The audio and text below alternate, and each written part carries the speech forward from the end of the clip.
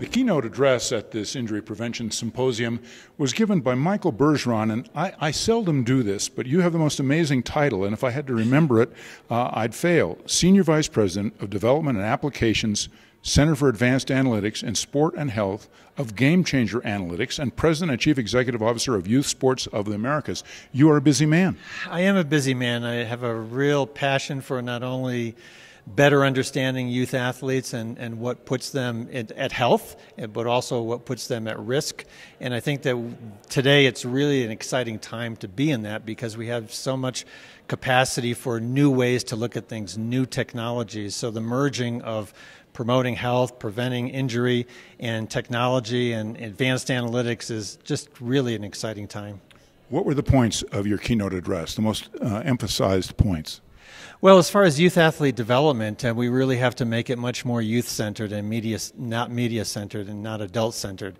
And we really have to look at the individual because there's so much variability in how a young athlete responds to training for a lot of different reasons, not the least of which is everyone is different and everyone has a different response to a stress, also at different maturation levels. So we really have to consider the individual and we have to consider that it takes a long time to develop a, a, healthy, sustainable, highly resilient athlete. And anytime you try to rush that, it puts that young athlete in jeopardy. The other side of it, with the analytics and the and the capacity for looking at uh, the factors that really promote health and prevent injury, uh, we have such a great opportunity to look at it from more of a systems biology versus trying to just look at one part of the mechanism.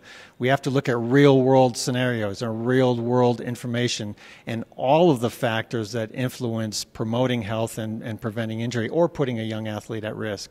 So you talk about young athletes. I remember when I played little league sports, which is uh, way too many years ago.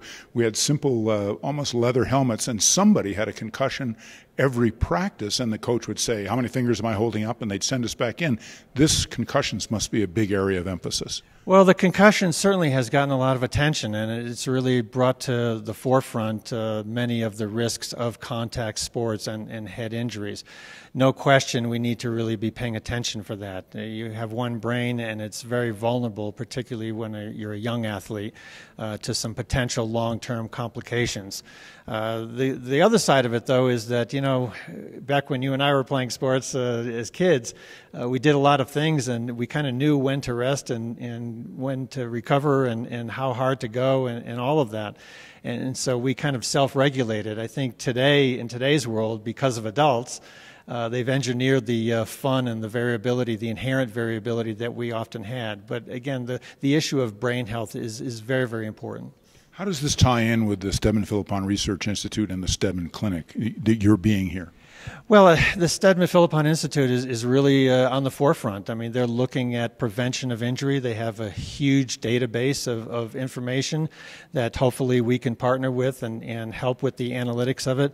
Uh, but they're really looking at it from a uh, right at the forefront of science and medicine as to what really are the risk factors and what can we really do to understand prevention and promote health. It's not an easy task, uh, but we need to look at it comprehensively and we need look at it creatively and innovatively. Michael Bergeron, thank you very much. The world of youth sports and all sports is changing because of injury prevention thinking.